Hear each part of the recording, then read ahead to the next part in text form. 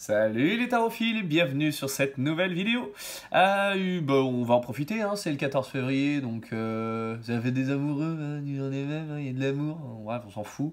Euh, moi j'aime pas, j'aime pas, j'aime pas l'amour, et puis euh, j'en ai marre parce que de toute façon il n'y en a que pour les couples, hein. les autres, les pauvres célibataires, bah, n'ont pas le droit à grand chose, donc bah, je vais m'occuper de vous hein, aujourd'hui. On va s'occuper un petit peu de nous, hein, nous, francs célibataires et, solitaires dans l'âme. Euh, voilà, pour certains c'est la Saint-Valentin, pour les autres c'est les Saint-Valentin. Donc Saint-Valentin et Saint-Valentine, chers amis et amis, nous allons, bah, je vais vous proposer un petit tirage du coup sur le thème de l'amour. Ah oui, c'est cool On va voir un petit peu avec, avec un joli tarot qui n'est autre que le Tarot of the Heart. Euh, de Liz Dean. Euh, voilà, un très, euh, très joli jeu, mais qui n'existe plus aujourd'hui. il n'est plus édité, je crois. Je pense qu'il n'y a que des versions d'Ocas qu'on peut trouver. Mais du coup, j'ai envie de vous proposer un petit tirage pour, pour la vie amoureuse. Alors, pas savoir si on va rencontrer l'amour ou pas. je pense que nous avons une ou plusieurs âmes sœurs. Je pense que nous en avons plusieurs en réalité. Je pense que c'est quelque chose aussi que le tarot nous apprend. Hein. Chacun des, des personnages du tarot peut se trouver en couple avec d'autres. Prenez par exemple, je sais pas, même la papesse qui pourtant n'est pas très couple, elle peut être en couple avec le pape, elle peut être en couple avec l'ermite parce que les deux se ressemblent, ou elle peut être en couple avec le pendu, parce que tous les deux sont des indicatifs d'eux. Donc on peut avoir plusieurs notions de couple. Euh, et je me dis, eh, tiens, euh, je veux pas savoir quand est-ce que je vais rencontrer l'amour ou si je vais trouver l'amour, parce que si je demande quand, je vais être sur le qui-vive et je vais peut-être le rater. Et si je demande euh, si je vais rencontrer l'amour ou pas et que ça me dit non, je vais aller ouvrir la bouteille de gaz. C'est dommage quand même. je pourrais rater peut-être des belles occasions. Et donc je me dis, ok, peut-être que quelque part, dans tous ces éléments qui forment mon alchimie personnelle et qui font cette recette euh, de, cuisine un peu étrange qui a donné naissance à un Kevin en chocolat.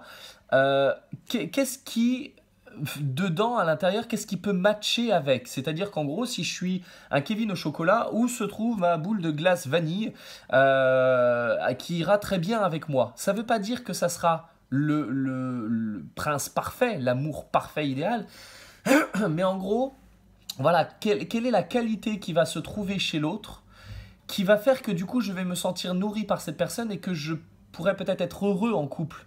Peut-être pas pour toute la vie, peut-être pas pour toujours, mais au moins pour un petit bout suffisant euh, qui me permette de faire un, court chemin, plus, enfin un court chemin, hmm, j'ai peut-être envie d'avoir un long chemin aussi, puis de finir ma vie à deux, j'en sais rien. Mais euh, l'idée, voilà, c'est en gros, il y a beaucoup de monde, autour de nous, on est très, euh, euh, très sollicité par tout un tas de gens, il suffit de voir les applications de rencontres, les sites internet pour faire des rencontres de gens, enfin c'est un supermarché, hein, on est d'accord. Donc euh, bah, plutôt que d'aller tous les jours chez mon primeur en me demandant sur qui je vais tomber aujourd'hui, et si je demandais au tarot, ok, à quoi va ressembler ma boule de glace vanille qui ira très bien avec ce que je suis? Et en gros, je vais aller tirer une carte qui va représenter, eh bien, à quoi est-ce que je vais reconnaître la personne qui sera le mieux pour moi. Et après, je peux tirer une deuxième carte qui va représenter, en gros, quel est l'ingrédient que je peux trouver chez certains qui me feront dire qu'il faut vite que je fuis. Donc en gros, ça va me donner une indication de ce à quoi ressemblerait mon prince charmant et de, ce à quoi ressemblent tous les ogres qui vont me tourner autour en faisant semblant d'être des princes charmants. Donc du coup, saisissez-vous de votre jeu.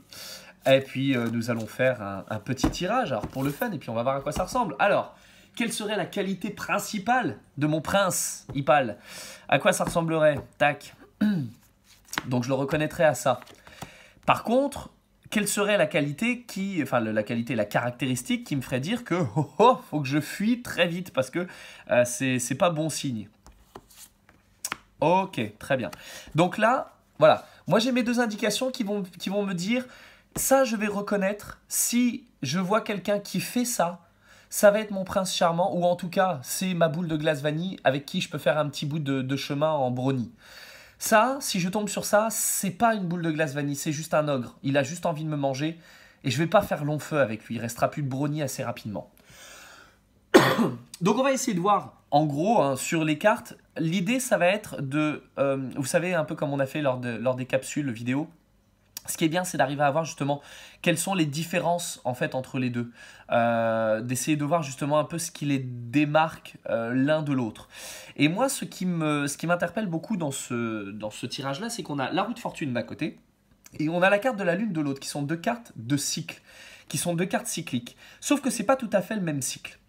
Avec la route fortune, c'est une étape et une nouvelle étape et une nouvelle étape et une nouvelle étape. C'est quelqu'un qui veut progresser.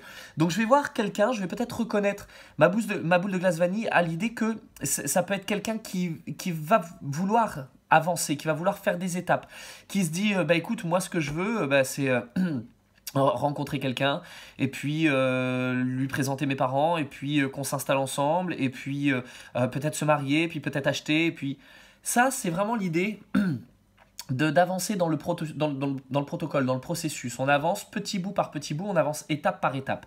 Quelqu'un qui est capable de me dire, ben moi je voudrais ça, puis ça, puis ça, puis ça, je me dis, haha, c'est pas mal. Alors que la carte de la Lune, c'est un cycle, mais c'est un cycle qui a déjà entré euh, comme, comme donné à l'intérieur de dans ces informations, l'idée qu'à un moment donné, peut-être que ça va s'arrêter et qu'il va falloir recommencer. Et en fait, moi, ça, je vois très bien de quoi il en est, parce que je suis déjà tombé sur des gens comme ça avec qui j'ai fait un bon bout de chemin. J'ai quand même eu des histoires longues, hein, 6 ans, 3 ans. Euh, j'ai eu des histoires qui, qui, euh, qui étaient quand même constructives.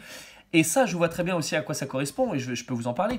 Ça, c'est vraiment les gens qui me disaient, ben voilà, je, moi, je, veux m'engager, je veux faire quelque chose, je veux construire.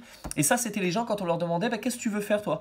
Je sais pas, en fait, j'ai pas envie de me poser de questions, on sait jamais ce qui peut arriver demain, je veux juste me laisser porter moi, personnellement, quelqu'un qui me dit j'ai juste envie de me laisser porter, je vais le porter jusqu'à la porte de sortie. Je reste pas.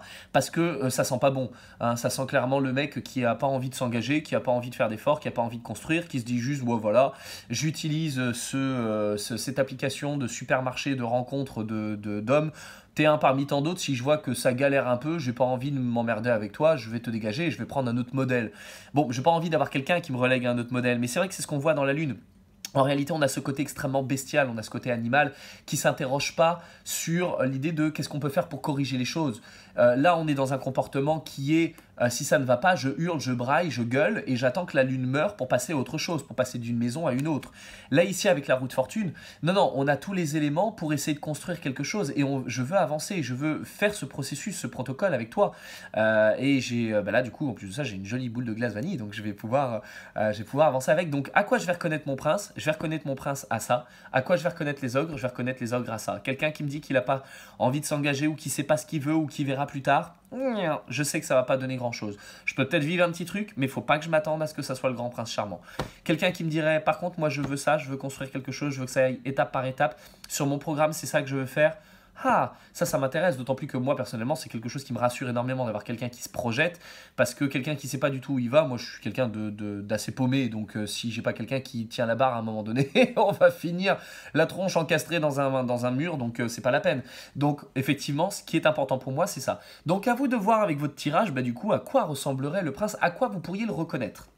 Et en réalité, la vraie, euh, le vrai intérêt derrière tout ça, c'est que des fois, on tombe sur des gens, on se dit non, en fait, il correspond pas du tout à ce que je veux, parce que moi j'aime bien les, les grands bruns euh, forts, euh, baraqués. Euh. Puis là, je suis tombé sur un blond, un petit blond, aux yeux bleus, c'est pas du tout mon truc. En fait, on s'en fout. En fait, on s'en fout. ce qui est important, c'est de savoir est-ce que ça va matcher ou pas dans la qualité de ce que l'autre est capable d'amener.